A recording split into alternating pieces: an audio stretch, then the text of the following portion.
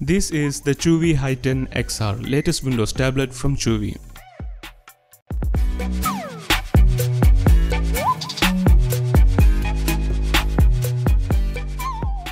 The Chuwi Hi10 XR comes with a 10.1-inch 1200 by 1920 pixels Full HD display with a 16 is to 10 aspect ratio. To the left, the Hi10 XR comes with a TF card slot, two Type-C port, micro HDMI port and a headphone jack.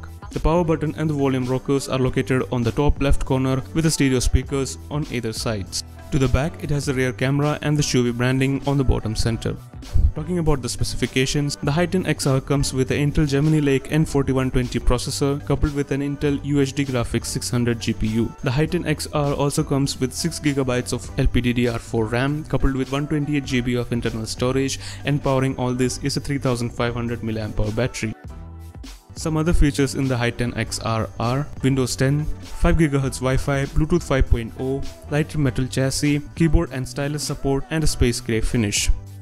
The Hi10 XR is available for $279 without accessories and it is also available for $299 with keyboard and stylus included. However, you can get a $50 discount and a superior Hi-Pen H7 instead of the stock Hi-Pen H6 if you buy it in their first sale which ends on 2nd November 2020.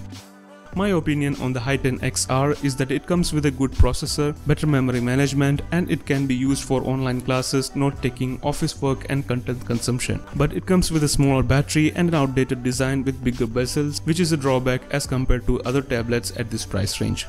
With that being said, give this video a like and subscribe for more short tech videos like this and I will see you in the next one.